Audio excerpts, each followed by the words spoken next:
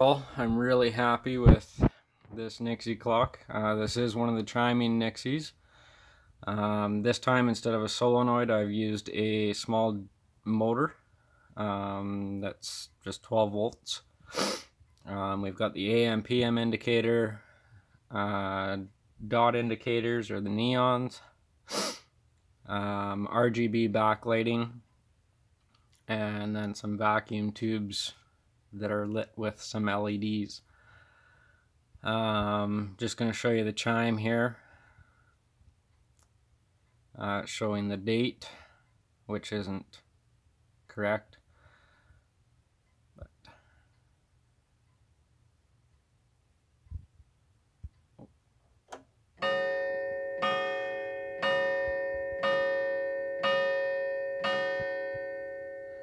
So it does have um, switches for everything.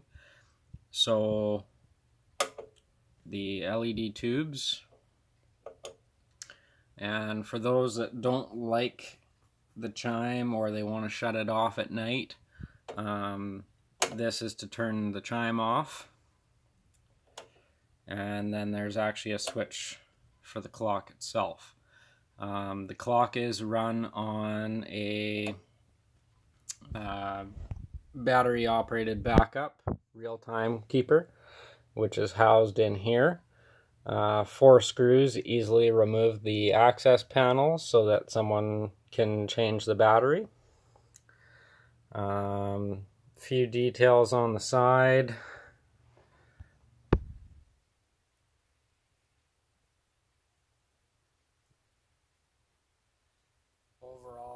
turned out really really nice. Um, I'm a little unsatisfied with this bottom tube. Um, lining up the copper elbows was really tricky so that there would be enough to actually hold the tube tight and get it at the correct angle. Um, this one is fit in a little bit better but this one I might have to readjust.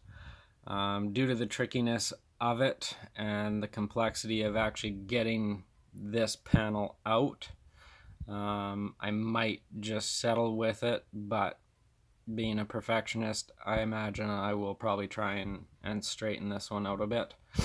But everything is serviceable, so uh, the motor can be replaced by removing two screws here, and this tube and the cover come off and the motor slides out. Um, four screws if I actually have to pull off the motor housing. Um, the hammer can be swapped to different hammers. Um, but right now the hammer that's on there is working really well. Um, barometer down here. These chains will eventually hold on to some fake weights.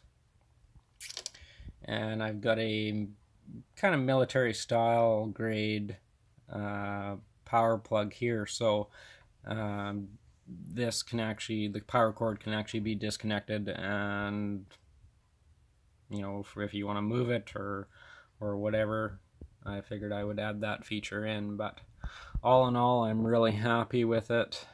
It works great.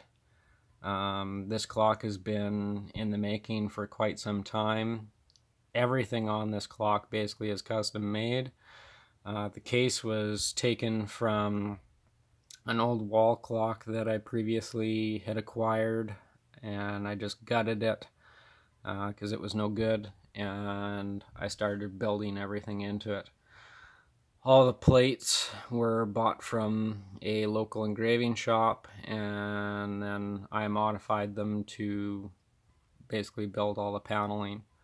Um, this piece here is separate and had to be soldered into the angled plate. Um, these six acorn nuts come off and this whole front plate comes out and gives you access to all the wiring and the circuitry um, that's in behind here. So there's quite a bit of wiring and, and everything that is hidden behind this panel. It all stays hidden, you don't see it. Um, you can't really like even you can see a little bit of it in person, but you know unless you're looking for it, you're you're really not going to see it. It doesn't distract from the actual appearance of the clock. Um, front glass door. It latches shut. Simple little latch here. And all in all, I'm probably going to add some some more plumbing detail down in here just to bring the flow of the steampunk theme down into the bottom of the clock. Um, and then kind of have a little cap here that for accenting. Really like how I was able to have the RTC light light up this little box. That box was a bit of a challenge to build, but very happy with the outcome. This actually, this assembly here is probably the favorite, my favorite part of the entire clock. Um, turned out really well. Looks just fantastic. And overall, really happy with the the theme and, and how it all flows and came together. So hope you all like it and keep following for more projects.